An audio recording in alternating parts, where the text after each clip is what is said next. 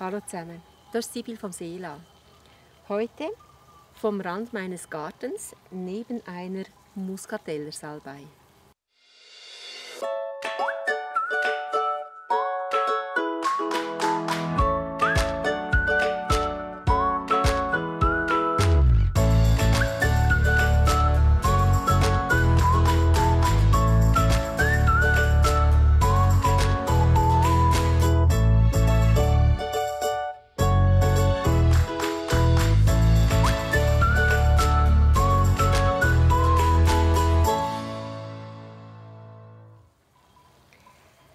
Die Muskateller-Salbei ist eine von rund 900 unterschiedlichen Salbeiarten.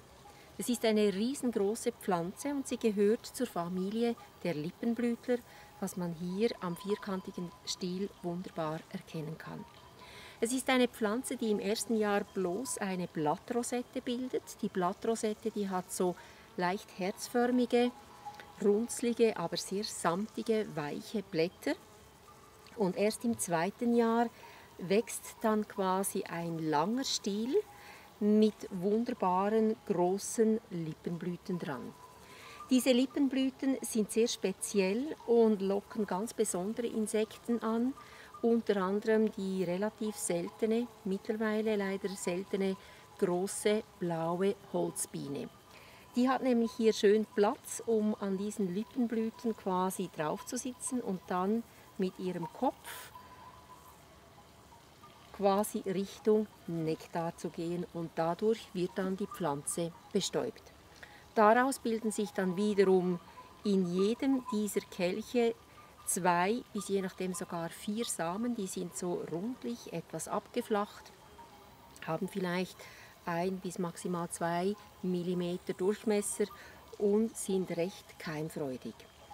Ich habe in meinem Garten eine sogenannte Ruderalfläche, das heißt, da hat es relativ viel Kies und da ist die Muskatellersalbei sehr gerne zu Hause.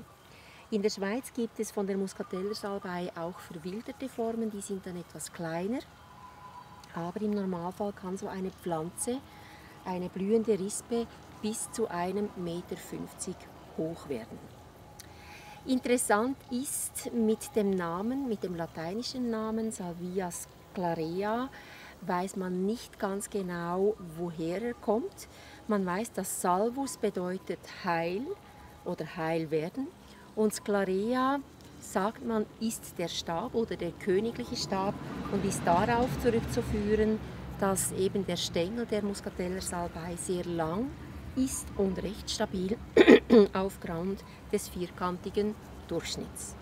Der Name Salvia scleria geht wahrscheinlich ins dritte Jahrhundert zurück. Der deutsche Name, der stammt aus dem 16. Jahrhundert. Und da wurde die Muscateller Salbei vor allem benutzt, indem man die Blüten zusammen zum Teil auch mit Holunderblüten gewöhnlichem weißen Wein beigemischt hat und dann den süßen Muskatwein daraus produziert hat. Und daraus ist dann der deutsche Name Muscateller Salbei entstanden. Bei den Kelten war das eine sehr bekannte und sogar heilige Heilpflanze. Und bei den weißen Kräuterfrauen wurde die ganze Pflanze auch sehr gerne genutzt, und zwar zum Rauchen. Die Muscateller Salbei hat nämlich leicht psychoaktive Substanzen mit drin und man munkelt so, dass eben diese Kräuterfrauen häufig Muscateller Salbei geraucht haben, wenn ihre Intuition gefordert war. Das ätherische Öl wird gewonnen aus den blühenden oder bereits verblühten Rispen und aus den Stängeln sowie auch den Blättern. Das Ganze wird wasserdampfdestilliert und es braucht eine relativ hohe Menge an Pflanzenmaterial für einen Liter Öl. Das heißt, wir bewegen uns im Bereich von ca. 120 Kilo Pflanzenmaterial für einen Liter Öl. Das ätherische Öl selber hat eine ganz starke entspannende und entkrampfende Wirkung. Und diese kommt zustande von den bis zu 74% Ester, ganz konkret Linalylacetat, die im ätherischen Öl des Muscateller Salbeis enthalten sind. Diese krampflösenden Eigenschaften kommen auch Frauen zugute, die Probleme haben mit ihrem Zyklus, vor allem in der ersten Zyklushälfte. Das heißt, wenn nicht genügend Östrogen vorhanden ist. Was ganz spannend ist, neben dem hohen Anteil an Ester und ca. 12% Monoterpenolen enthält nämlich das Öl der Muscateller-Salbei auch bis zu 2% Diterpenole. Das sind eigentlich sehr große, sehr schwere Moleküle. Und diese bis 2% sogenanntes Clareol, die haben eine, oder das hat eine östrogenähnliche Wirkung. Das bedeutet für uns, wenn immer das Östrogen eventuell etwas knapp ist, sei das bei einer Amenorrhoe, bei einer Dysmenorrhoe oder je nachdem auch bei prämenstruellen Beschwerden, kann die Muscateller-Salbei vor allem im ersten, in der ersten Zyklushälfte sehr, sehr hilfreich sein. Und zudem ist die eben auch wirklich top bei Nervosität, weil es eben stark entspannend wirkt, aber auch bei depressiven Verstimmungen und wenn sich Menschen so am Rand von einem Burnout bewegen oder eben sehr stark unruhig sind. Auch dann ist das Öl der Muscateller Salbei hilfreich. Es ist nicht jedermanns Sache. Der Geschmack respektive der Duft dieses Öls ist doch recht eigen. Und ich habe jetzt diesen Zweig hier in den Fingern. Ich werde wohl heute Abend relativ lange Zeit brauchen, bis der ganze Duft wieder weg ist von meiner Haut. Das Öl, das riecht nämlich würzig, aber zum Teil auch fast, fast ein bisschen schweißig. Und dafür verantwortlich sind eigentlich die Pheromone, die hier auch enthalten sind. Und deshalb kann das Öl nicht nur bei Frauen ganz toll wirken, sondern auch Männer, die zum Beispiel unter Stress leiden und wo die Libido nicht ganz so toll funktioniert. Da kann man sich quasi für beide ein sehr schönes, erotisierendes Massageöl herstellen, natürlich kombiniert mit anderen Inhaltsstoffen. Übrigens im Zusammenhang mit Entspannung, es gibt eine Studie, die wurde durchgeführt an 31 Frauen, welche unter Harninkontinenz litten. Und zwar konnten diese Frauen während der urologischen Untersuchung an 5%igem Muscateller-Salbeiöl riechen. Und interessant war, dass der systolische, also der obere Blutdruckmesswert massiv abgesunken ist. Das heißt, es hat wirklich eine, wie wir so gerne hören, signifikante Veränderung des systolischen Blutdrucks ergeben das durch die bloße Inhalation von 5%igem Muscateller Salbeiöl. Aufgrund der, wie gesagt, östrogenähnlichen Wirkung ist es aber auch wichtig, dass zum Beispiel Frauen, welche Probleme haben mit einer zu starken Menstruation, dieses Öl nicht nutzen. Und ebenso sollte dieses Öl in der Schwangerschaft, wenn überhaupt, nur ganz, ganz gering dosiert eingesetzt werden. Hingegen unter der Geburt kann es aufgrund vom Sklariol, das dann auch eine Auswirkung hat auf die Ausschüttung vom Oxytocin, was dann wiederum verantwortlich ist für eine gute Wehentätigkeit und gleichzeitig eine sehr entspannende Wirkung hat, wunderbar genutzt werden.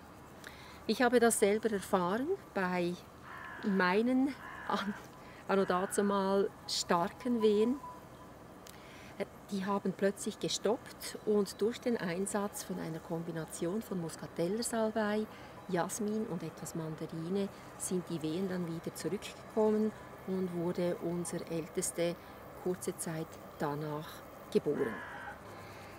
Was auch spannend ist, das ätherische Öl ist also nicht nur zyklusabhängig einsetzbar, sondern hat auch eine stabilisierende Wirkung aufs Bindegewebe.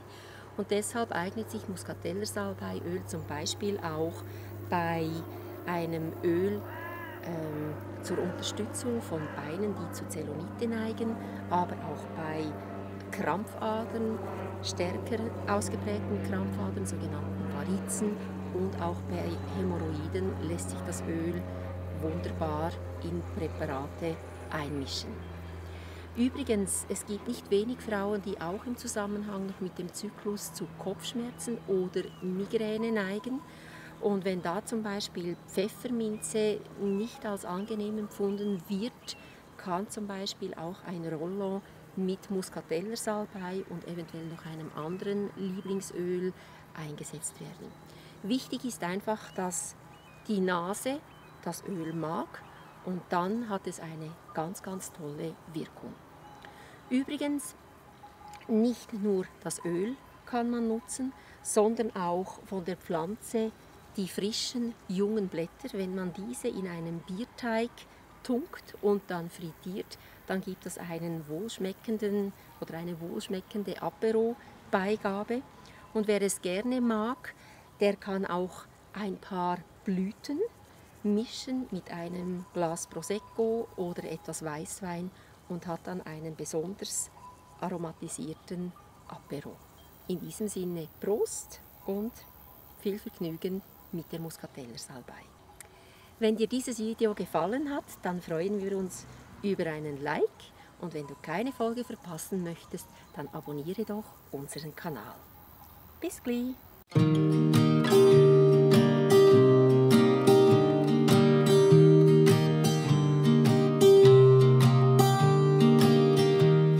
Was never the one to write up a song for just anyone. I I was always the one to find myself lost in long conversations. Oh, cause I've always been told that things will unfold if you keep on waiting. But then you came along and proved me all wrong. I was so mistaken. Cause you glue all the pieces back together.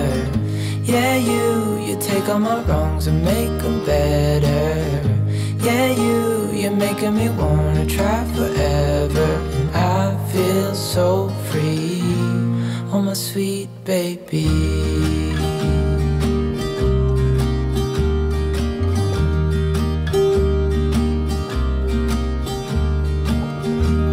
I was never the one to give up the ghost. No, I was so stuck. I kept on playing my part, wanting to give up, cause nothing was changing.